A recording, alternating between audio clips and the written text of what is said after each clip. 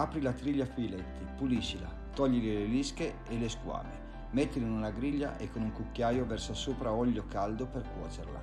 Adagiala in un piatto con un, con un sacco a poche e metti l'aceto emulsionato, qualche fogliolina di grass, sporca il piatto con l'aceto ristretto e servi.